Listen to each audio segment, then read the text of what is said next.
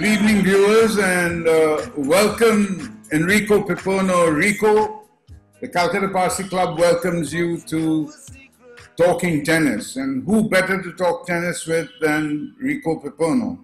Viewers, uh, in Indian tennis, Rico is one of the few, if not the only one, to have had a playing career over two decades, followed by two decades of coaching the best who achieved the best in Indian tennis.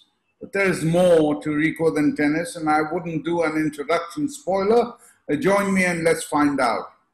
So, Rico, thank you for being here. Thank you, Yezdi, for having me. It's such a pleasure to be with you. And uh, of course, uh, I'm grateful to the Calcutta Parsee Club, all my dear friends who are part of that club, great institution. And of course, uh, a pleasure talking to you, Yezdi. Thank you. Uh, Rico, let's start with, uh, you know, what you started out in life with as being a tennis player. And I really want to talk you through a few aspects of the making of Rio, uh, Rico, the tennis player. So to talk through your playing career would take a very long time, over 20 years, but we're going to try and condense it down to uh, a few minutes. When did you first realize uh, you could have and wanted a career in tennis? Well, good question. Uh, you know, I started off playing in the early 70s, and uh, that was the time when the South Club was at its peak. Uh, we had some great tennis players at the South Club at the time. Jaideep Mukherjee, Premjit Lal, Akhtar Ali, uh, just naming a few, Chiradeep Mukherjee, Bidyut Goswami, our very own Naushar Madden, Cyrus Jr. playing with me. So I, I came into a generation of tennis players at the Calcutta South Club who really all made it. They all played professional tennis at some level or the other. So I got a great sort of insight into what is needed to be able to play tennis at a high level. So that was the first sort of motivating factor I had. Second was the fact that Akhtar Ali was our coach at the time, and he had coached a lot of great players before us, and he sort of inspired us as well. And then again, Yezdi, nothing happens in sport without the support of your parents. And uh, as a young man growing up in Calcutta, my dad was very instrumental in, in pushing me and taking me to the courts and making sure I got my practice sessions in, and really was instrumental in driving me to make that decision to start taking tennis up professionally. Coming back to your question, I guess 1978, you know, took six, seven years of me playing sub junior tennis and junior tennis, but it took me to win the Asian junior gold medal at Bangkok was the first sort of indicator that I had that this is what I want to do. And this is something that I'm going to pursue going forward. So maybe possibly that Asian junior gold medal in Bangkok was the was a catalyst to push me into playing tennis full time. You, you said your parents were uh, obviously uh, you can't start a career in a sport like tennis in, in, those days in the 70s without the support of your parents. uh, because sport was not meant to be a career for most people. Uh, but other than other than your parents, who were your biggest influences on the court and off the court in your formative years uh, as a tennis player? I'll give you a little reference to your question first. I commentated quite a bit with Vijay Amritraj, and Vijay told me in 1971 he was the only professional athlete out of India. So 71, 72, I was 11, 12 years old, just coming up at the time. And he was the only one playing professional tennis, uh, playing professional sport. Even Sunil Gavaskar at that time was employed by Nirlons, earning probably 100 rupees a test match. So put that in perspective. So if you want to think about playing professional sport at that time, was a very, very sort of tall order. So I guess the support of my parents, one, was very important. Second of all, I had some lots of great influences at the Calcutta South Club. First, my coach, Mr. Akhtar Ali, he taught me the nuances of the game, he taught me my technique. And besides that, I got to sit over there and watch some world class tennis players playing every single afternoon. And I got to learn a lot from them.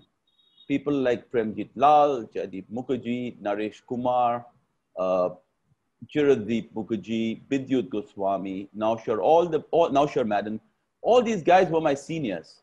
And uh, they used to be practicing on court one, two, and three. We were the sub juniors on courts five and six. We couldn't even get a chance to playing anyway on the, on the early courts because these great guys were there practicing every single day. People like A.C. Khan, you know, all regular good tennis players ranked in India, ranked in the world, playing tennis in front of your eyes. Yeah. So they were great. They were great influences because they really that changing room again coming into that changing room, listening to them talk, discussing the game. So all that I learned and everything that I picked up were the small nuances and, and conversations and watching them practice that really drove me to trying to achieve what I did achieve. Yeah. You know, uh, uh, earlier whilst you were talking, you made a reference to when you were 12 years old, and I'd like to jog your memory a little bit. At the age of 12, you won a certain tournament playing a certain Parsi at the Saturday Club. Tell us a little bit about it. Well, it was actually one of my first. Actually, I started playing tennis in the winter uh, in Calcutta, and then as a family, we used to move to Bangalore. So I went to Bangalore in the summer, continued playing tennis, and uh, got a lot better playing at the Bangalore club. I played a couple of tournaments in Bangalore. When I returned to Calcutta, I, that was my first tournament really in Calcutta, the under 14 event at the Saturday club. And I came up against a certain Cyrus J. Madden in the final. I won, I won the first set. The second set, he blanked me six love. And then we had a tussle in the third, on which I eventually managed to pull off 9 7. So that was my first major success of the, in the tennis court, on the tennis court. And, and I think Cyrus was definitely part of that. Yeah, well, uh, Cyrus too has fond memories of that. About uh, last week, he had a little chat show with uh, somebody you and I know very well, Numi Mehta.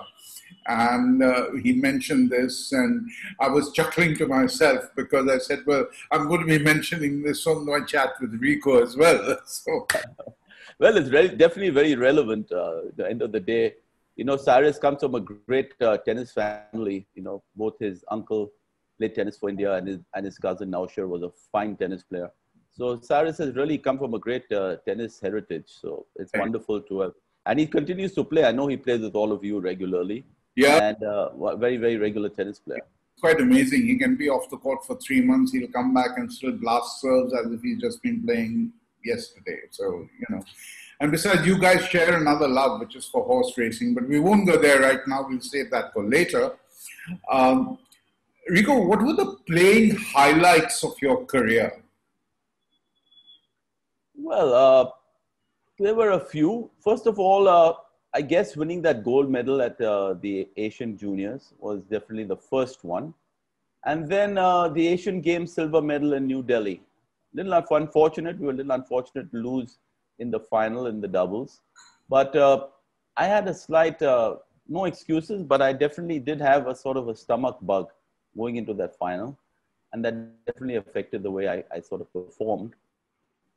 I had no choice. We were playing the So- uh, Nandan Bal and myself. Uh, I guess the uh, one big match comes to my memory. The fact when I was playing on Andres Vaisand of Russia in the semi-finals of the senior nationals on, on the lawn of the Calcutta South Club. I was down two sets to love. I was down three love. It was the best of five set match. I was down two sets to love and three love in the third. Came back, won the third. And in those days, you got a 10 minute breaks between after the third set. So went in the locker room, had a quick shower, came out, went down three love again in the fourth. Came back, won that, and eventually beat him 6 2 in the fifth.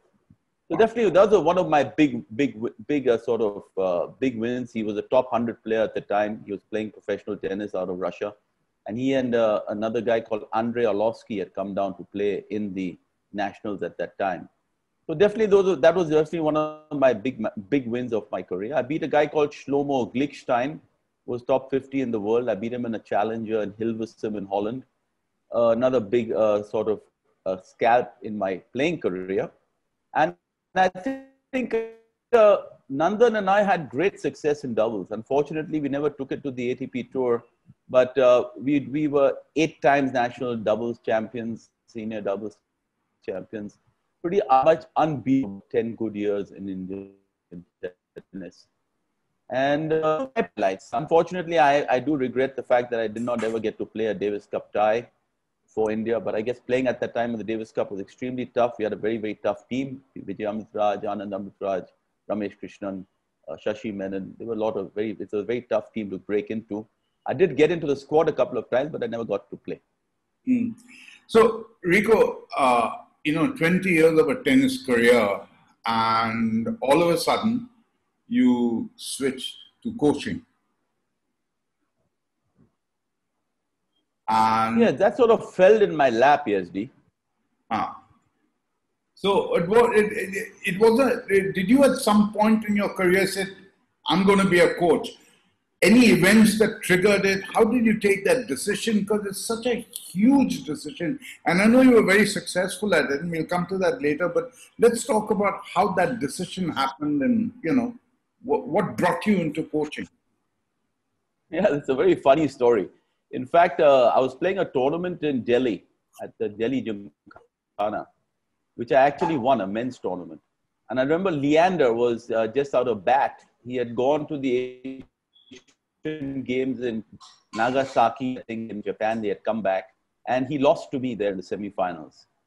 And uh, on the flight back from, from Delhi, his father, Dr. Vece Paes, was sitting next to me, and he sort of sort of popped the question. He said, "You know, Rico, you're 30 now. Would you be interested in becoming a coach?" And I said, "You know, I thought of it." He said, "Listen, Leander needs someone to guide him in the next couple of years." And know who better than you. You know, he's very fond of you. You all are very comfortable with each other. He respects the fact that you pretty much, pretty much saw him as a young kid growing up at the Calcutta South Club. So, would you consider it? So, I gave it a thought. I talked to my wife about it. And so, therefore, for the next year and a half or so, I not only started coaching him, I actually started playing with him. I started playing doubles with him, helping him uh, uh, win a couple of satellite events in doubles, get himself an ATP ranking and then uh, the rest was history. You know, he went on to do such great things post that. So I think I definitely was a very important part in, in Leander's life because at the end of the day, when he came out of bat, he really had no one to turn to. And, uh, and really, West did not have the funds to send him abroad to anybody at that time. So it was a very, very uh, opportune time for me too because I got to work with probably the best tennis player India's seen in a long time. That's true, very true. And the guy still carries on. I don't know how he does it. Uh, I admire him. Uh, Rico, uh, there was a time when uh, you see this background, my Zoom background it's got all these many, many photographs that you sent to me, and I decided to use it as a poster. And I sent you a copy of it. I don't know if you looked at it, but there is one picture in there that is missing, and it's missing because I wanted to keep it out of there and focus on it separately. And it represents uh, one of the biggest highlights of your coaching career. So, what I'm going to do is I'm going to share my screen with you and I'm going to show you that picture and then you can build the, you know, use that as a hub and build your coaching story around it and let's see where that goes. So, hold on.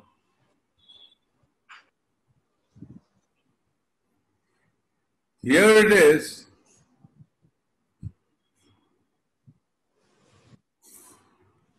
Can you see that, Rico?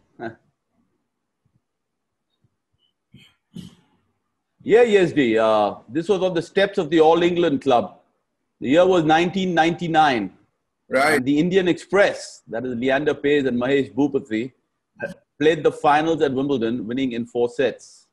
So that is probably the highlight of my coaching career, sitting on those steps of Wimbledon, having that trophy on my head. Yeah, for for a tennis aficionado like me who followed tennis for a very very long time, this represented to me, uh, you know, the the best, the very best of Indian tennis uh, at that time, and it was a golden period, and you were involved in it. So tell us more about it. Yeah, it was a great year. With 1999, we were we were pretty much on top of our game at the time. Both Leander and Mahesh were combining phenomenally. The year started with the Australian Open, where they, re- they reached the finals and they lost.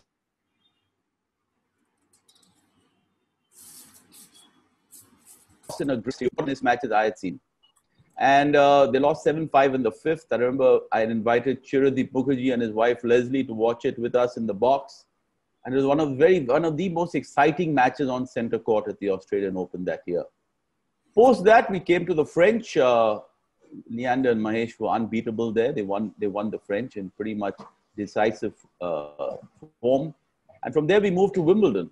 And at Wimbledon, you know, it's very different for us Indians because you know we grew up in a in a sort of environment in our sport where we believe the mecca of the sport our game was Wimbledon.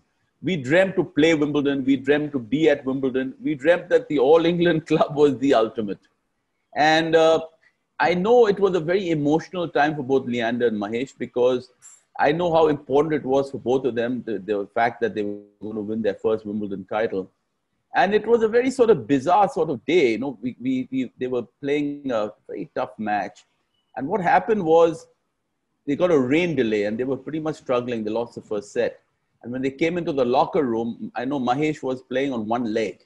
He had pulled a, you know, his hamstring was very tight. He was, he was struggling to push any weight off it. And, you know, he was almost, he was in tears. So I had to sort of sit with him and, uh, you know, kind of give him the confidence to go out there with the physio was working on his leg and I think that was the most important 10, 15 minutes that I spent with Mahesh in his playing career. Because if I wasn't there, I don't know whether he would be able to bounce back.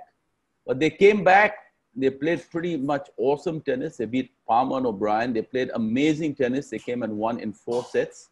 And Mahesh really needed a, like a month off post that just to get over that injury.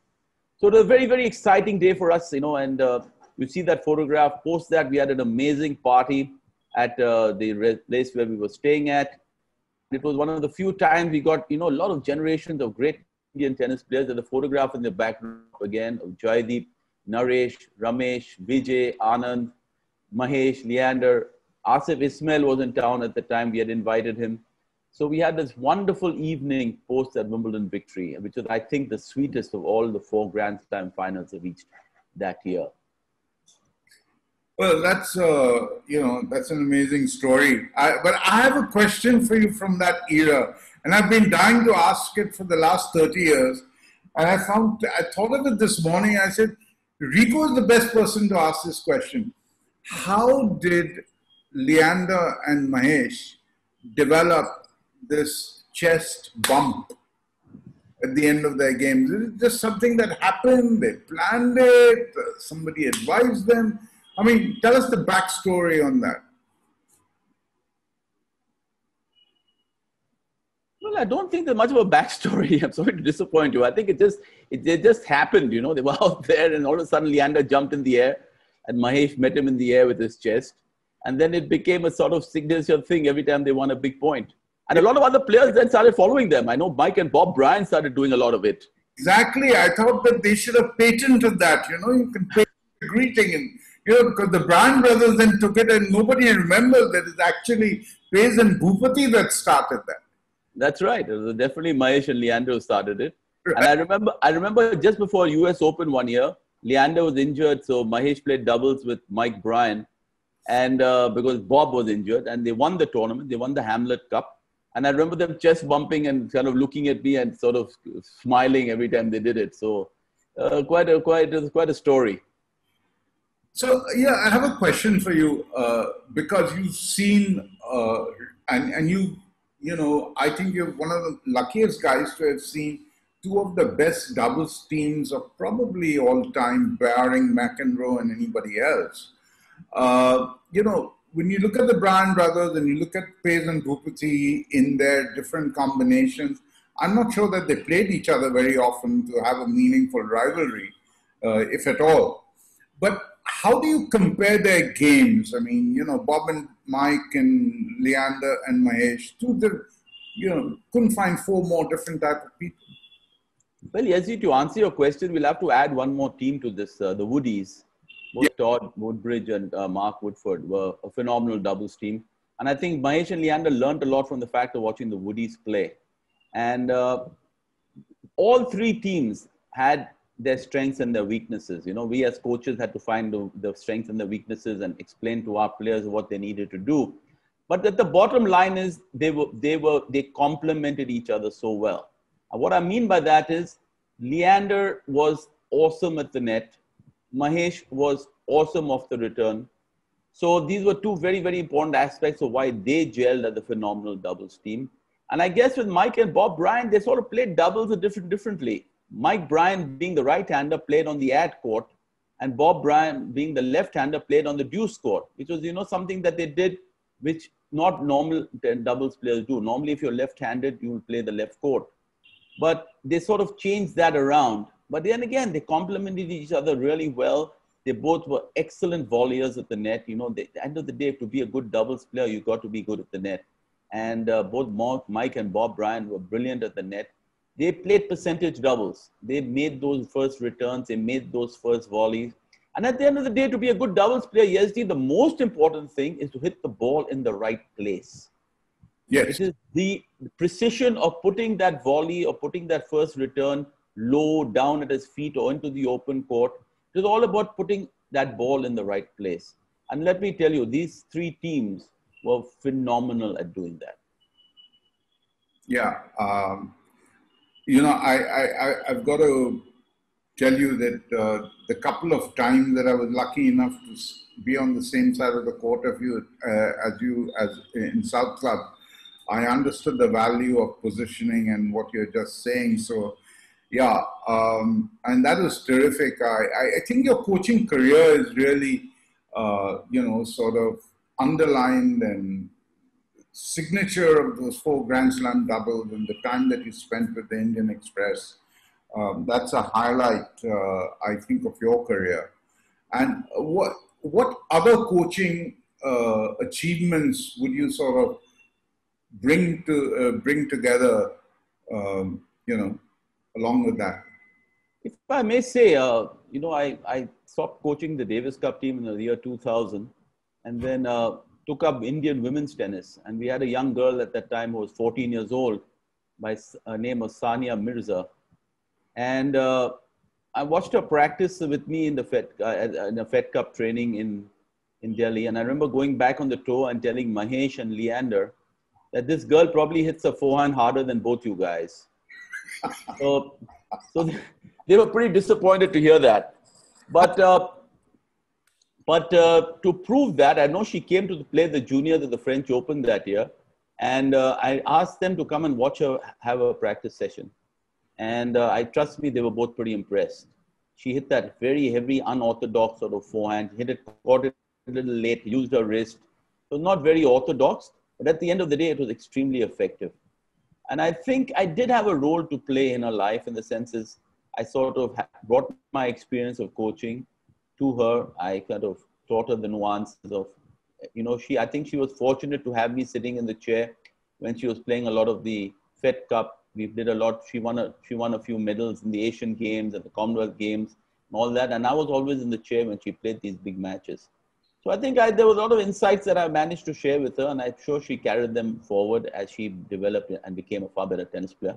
Never really traveled with her. She did ask me, in fact, to go on the road with her a couple of times But you know, Yezdi, after what I had done with Leander and Mahesh, you know, eight, nine years on the tour, it was, it was starting to get to me traveling. And, uh, you know, I had young kids and I know my wife was sort of bringing them up by herself.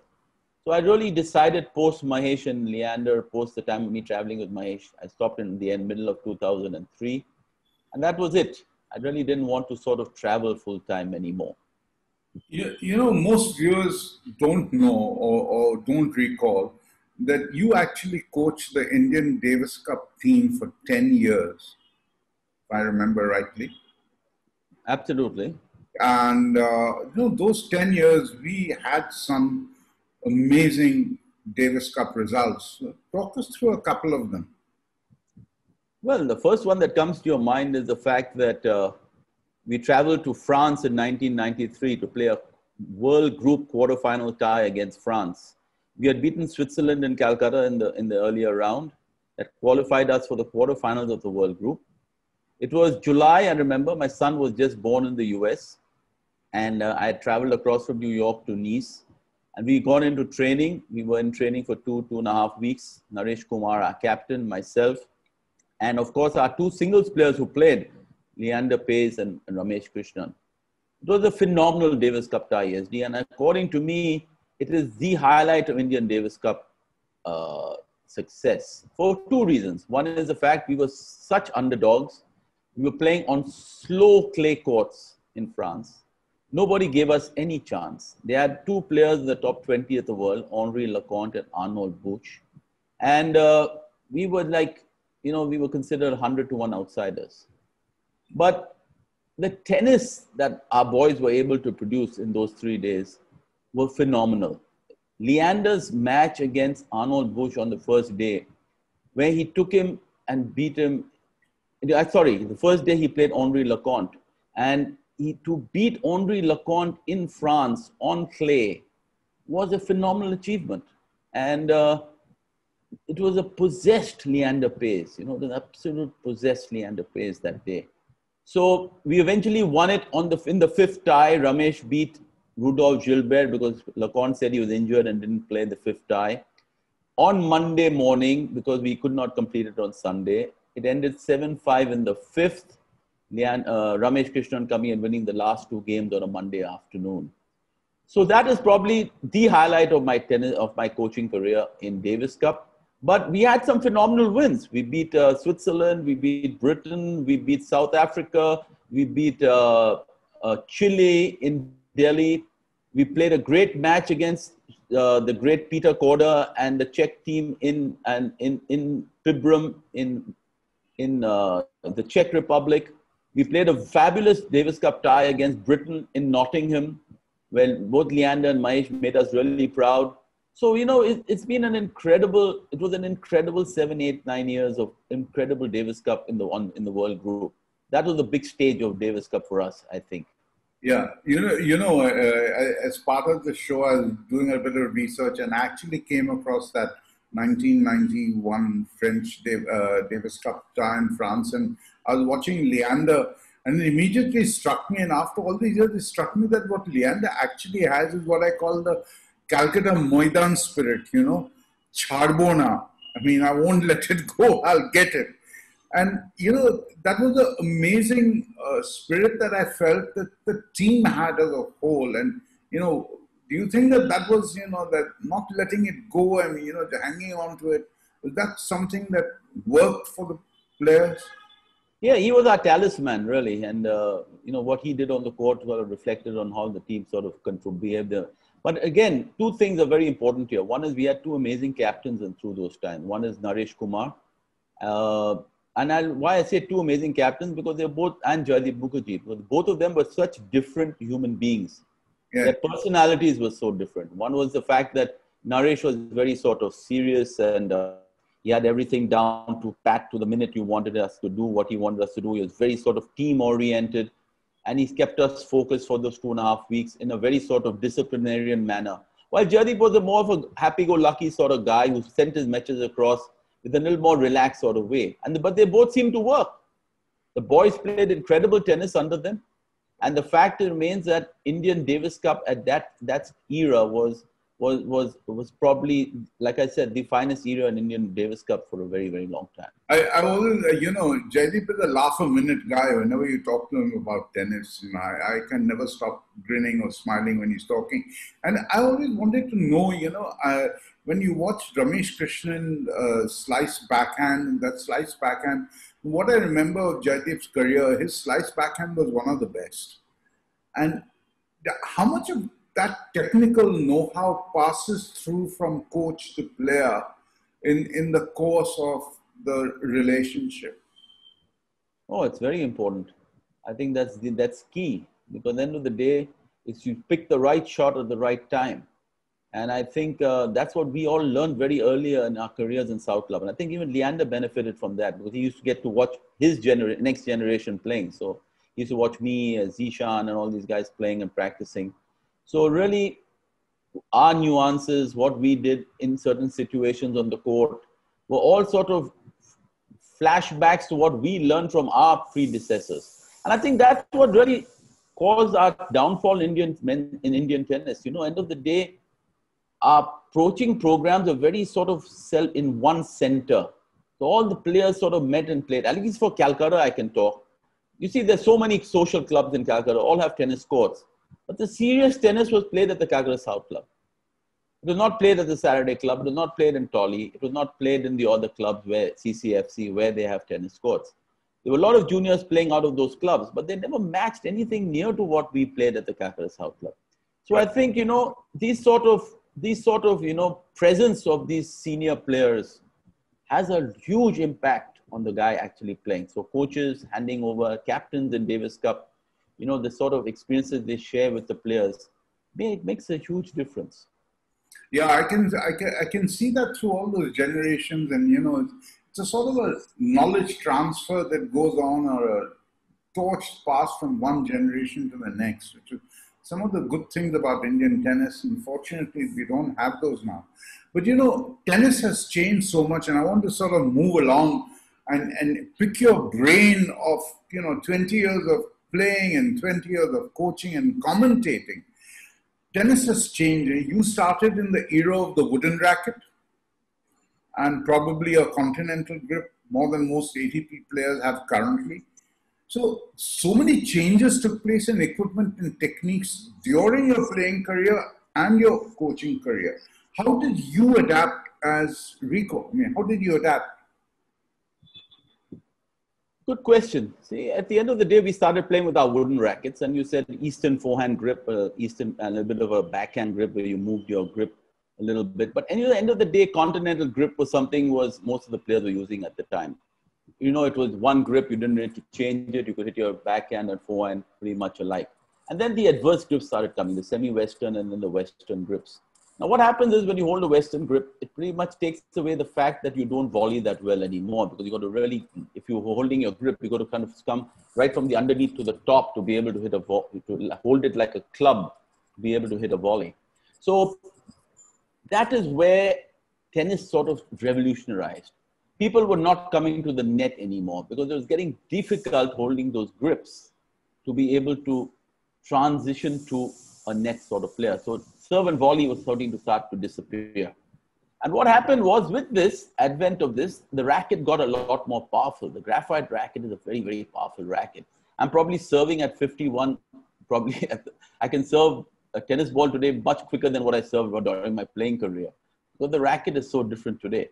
So what happens is basically the tennis player got very much fitter. He got to be able to run down every single ball that was hit on the court, which unlike the players in the past, see, the players in the past had a, a play was to chip and charge. To chip, come in, put the pressure on your opponent to make that passing shot. Today, the players, Yezdi, are so phenomenally fit that they're on the full run. They're so balanced. You watch them, they take 12, 14 steps out wide, and still that balance is dead on. So the technique is not compromised. So the passing shot is now become so much easier than what it was before. Right. And end of the day, the chip and charge pretty much disappeared from the game. Roger Federer still uses it once in a while, but he uses it as a mix-up. He can't use it regularly because once you start doing that all the time, you're going to be finding your balls whizzing past you both on both flanks. so, you know, tennis has changed from that point of view. I think from the fact that one is the grips have changed phenomenally, and second of all, the fitness of the players today. It is just phenomenal. They can hit. I remember watching a Cañas, a guy called Guillermo Cañas from, from Chile, a practice session. Mahesh and I just finished a practice session in Monte Carlo on one of the outside courts.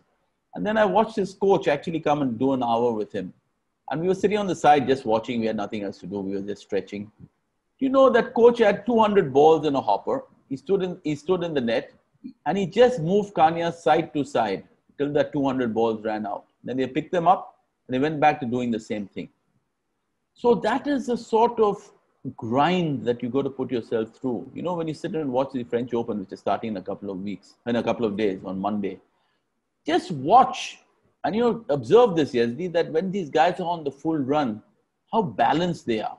Yeah. And it comes from the fact of just repetition of hitting a lot of balls, you know, corner to corner. And that is what the game's all about today. Till you watch it live, you don't realize how hard they're hitting it, number one. And number two is how quick they've become. And I think, you know, that is something that television sort of misses. Yeah, I, I fully agree with you. I've been very fortunate in watching the Dubai Open for 14 years, the Indian Wells last year, uh, the ATP finals in in London over three times, and I, I, fully agree. I mean, on TV you just don't get that same feeling. I mean, particularly when people watch uh, Nadal, you know, I said you have no idea what it looks like in real life. You know, I mean, I'd need a ladder to get to, to one of his balls. I mean, that's how it jumps. The guy hits at five thousand RPM. Yeah, I, I, remember taking Samira, my wife. Uh, we were uh, in England in 2014, and he was playing Nicolas Kiefer, a good friend of mine, in the first round at Wimbledon. So I got a, a couple of center court tickets, and the first thing Samira noticed was, she said, "My God, I can't. It does doesn't occur to me how far back he's standing to return serve, and that and that too on grass. You know, you're putting that RPM into perspective. A BMW 520i has a maximum RPM of 8,000. So Rafael Nadal is hitting about 70% of the revolutions per minute you would get if you started your BMW 520i. I mean, mind-boggling. I, I, I can't get over that.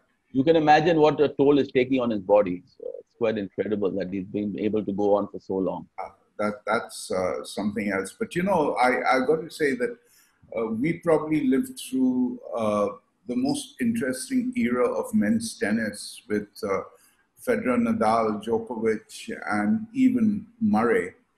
Uh, and to a lesser extent, Wawrinka and Del Potro. And I, I don't think we'll ever see that sort of uh, collection of individuals at the top of men's tennis, you know yeah, we've been, we've been very fortunate. We've had the, we've had this most incredible era. You know, when when the Sampras Agassi eras were starting to come to an end, you wondered who will be next. And these guys really stepped it up, and they've taken tennis to such an incredible level. You know, they've yeah. taken level tennis to an in, like Tiger Woods did in, in, in golf.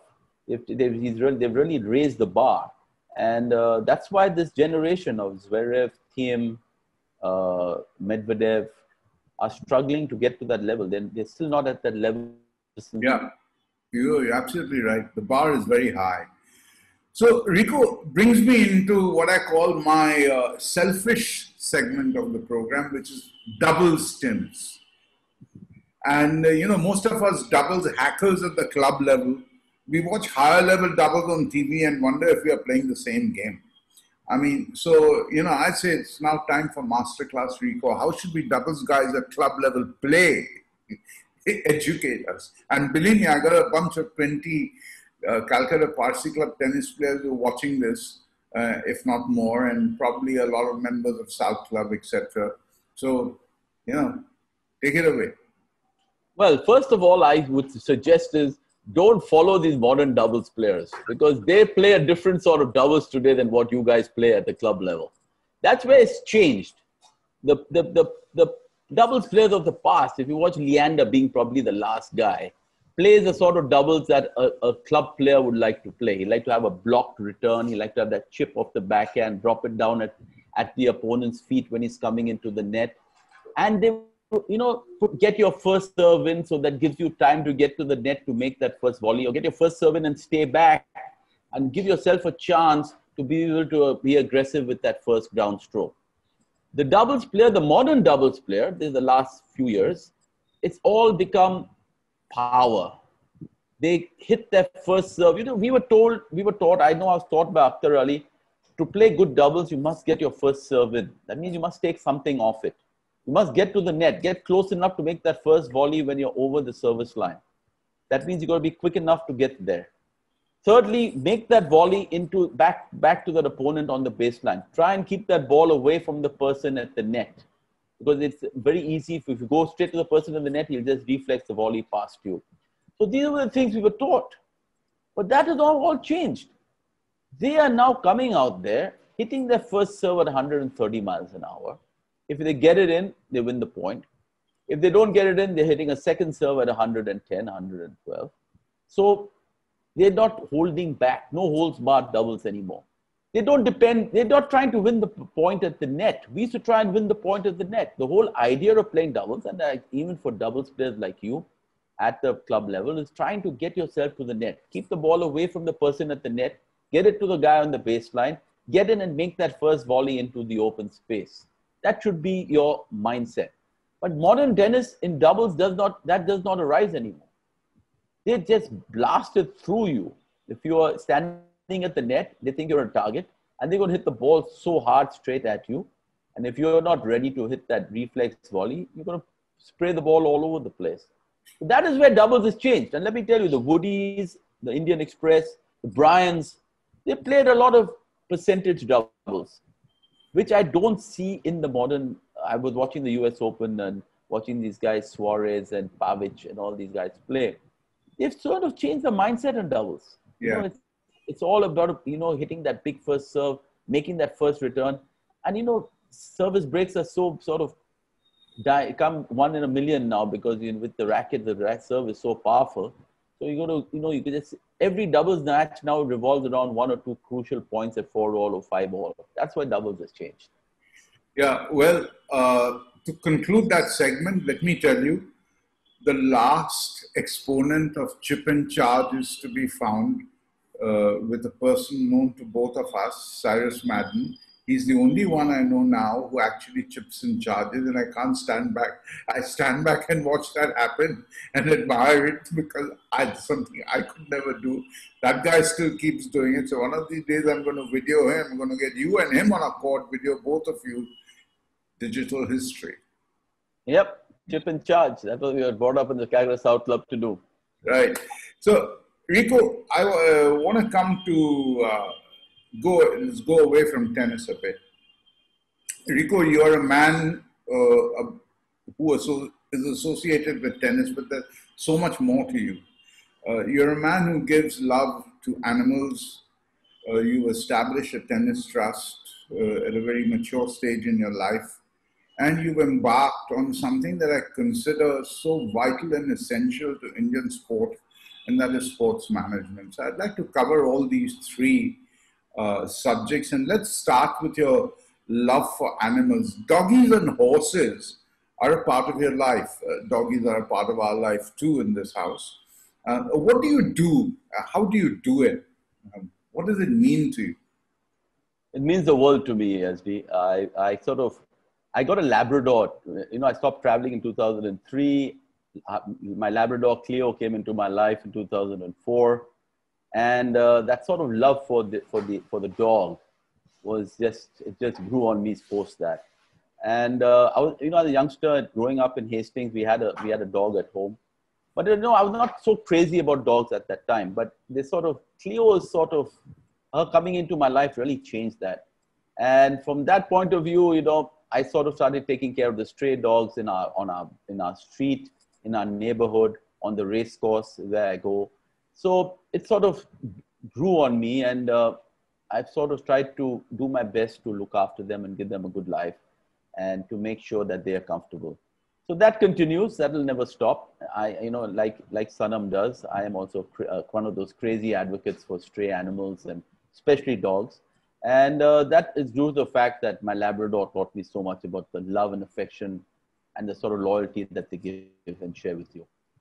With regards to my trust, it was something that, uh, you know, in 2010, I remember the Commonwealth Games that just finished in Delhi, and I was in a bit of my crossroads in my life. I really didn't know what I wanted to do any further. Done so much of, you know, what I've done, like you said. And my wife said to me, why don't you start something in Calcutta which is meaningful? And that was the first time it occurred to me that, you know, it's about time that I start giving back. And uh, I got so much out of this wonderful game. And so I did two things I did. One is I got Shayandeep Chakravarti to come back from Kuwait. I wanted him to head my coaching program. And I got a guy called Shane Nis to head my training for my fitness for my kids. So but I got these two guys on board. And what we did was I formed a trust. And it's called the Enrico Piperno Tennis Trust.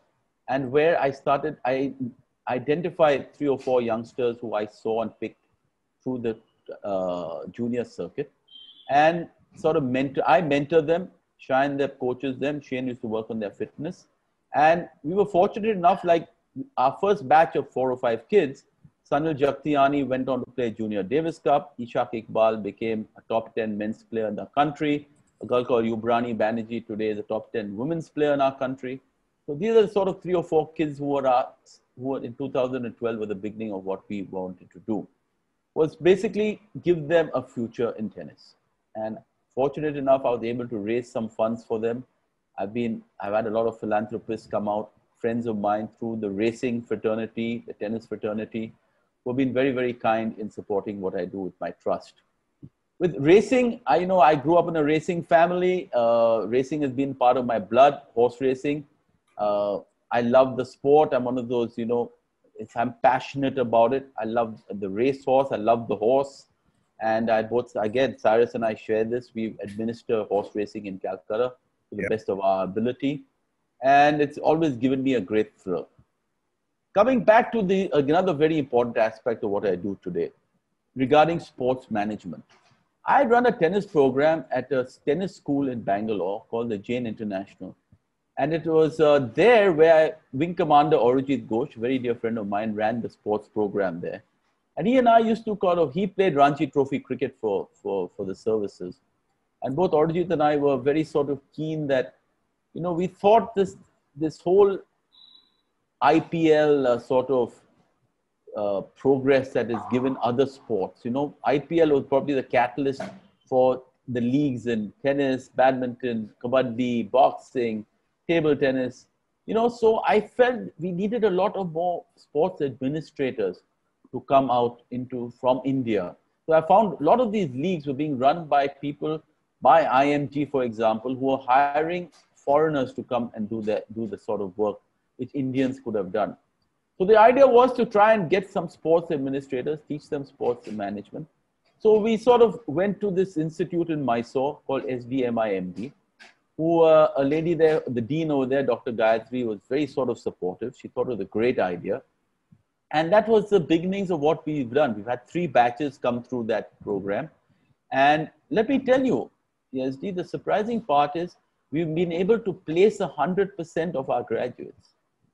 Now, that has been that has been our biggest success because we found jobs for these people in Adidas, in Puma, in uh, the Prakash Padukone uh, Academy, in JSW, which runs an amazing program with the Bangalore FC, in, in institutes like the Royal Challengers Bangalore. So we've been able to place a lot of these uh, graduates coming out of our program, SDMIMD, which has given us a great thrill.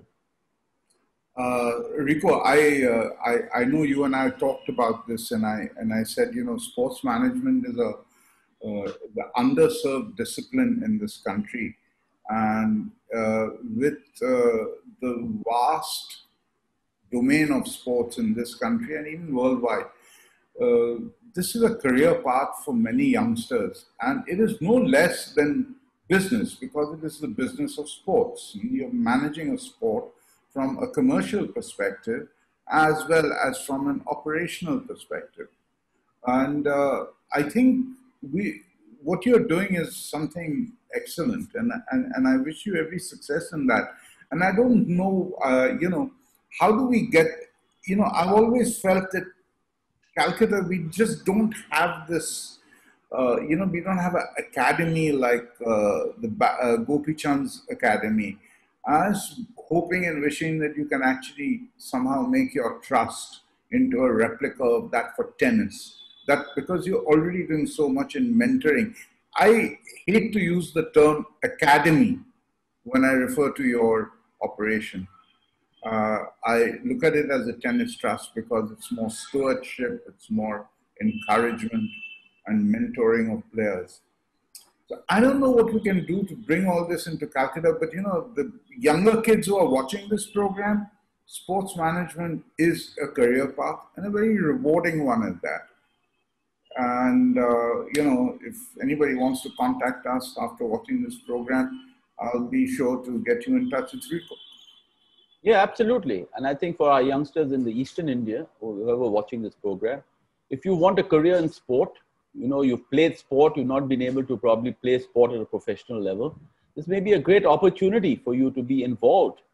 You know, there are a lot of franchises available uh, in India today in cricket, in, in hockey, in uh, kabaddi, in uh, so many different sports which you can be part of and you can actually enjoy a sporting experience through your career. And like, what can be more rewarding? You play sport, you probably could not able to play it professionally.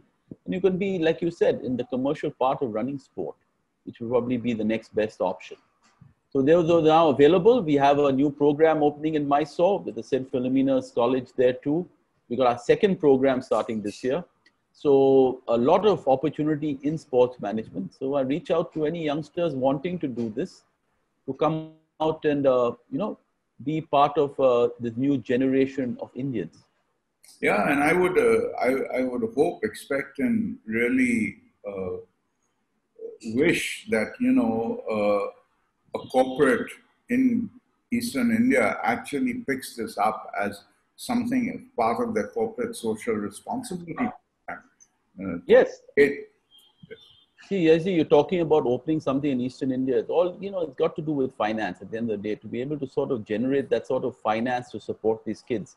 So, at the end of the day, you know, when my first kids started going and playing tennis in Europe, they were coming back, they were giving me bills of uh, stringing a racket cost $25. Now, $25 into rupees, you know, if you convert, is, is not a small amount of money. You string a racket in Calcutta for a couple of hundred trips, rupees. So, you know, these are some things that sponsors don't seem to understand. You see, to achieve in tennis, you've got to go for go to the next level. You got to go out and play professional tennis out of the country. right. And you know, juniors especially, they need you know just playing amongst themselves in Asia doesn't, doesn't make them tennis players. They got to go to Europe. They need to go to the US. They need to compete at the highest level, and that costs money. Nothing's cheap anymore. So you know, it's all about what sort of money that is able to generate. You see, unfortunately, our associations, you know, they do a good job in organizing tournaments and putting junior tournaments together. But the associations, if they have a weakness, is the fact that they've not been able, they've not been able to build up a corpus to be able to support a kid post 16 or 17. Is that corpus is, you know, I'm able to take my kids in the trust right up to about 15 or 16 myself, but I don't have that sort of wherewithal to take them beyond that. That is where where we are all hurting. So, like you said, we need a big corporate to come out with a big CSR budget to say, listen, this is what we've got, this is what is available to us. This is who, who, who are the deserving kids we need to give this money to. Yeah. Yeah, it's, you know, when I see the sums of money being spent on buying Mohan Bagan, East Bengal, or any other franchise or whatever, and I kind of feel that, you know, why can't some of this be diverted to creating a tennis infrastructure? And what better place to, uh, to uh, do it than Calcutta? Because, you know, uh, even though it's no longer relevant, but we are have been the tennis mecca of India for a very long time. Uh, yes, and, yes, you're right. And I think that is where we've gone, we've sort of slipped into the background. Yeah, and, and I wish better days come ahead and better times come ahead for the game in this country. And uh, Rico, people like you uh, committed to the cause of both tennis and uh, sports management, both of which are very relevant and required in this country. I wish you the very best. And uh, Rico, it's always a pleasure talking to you.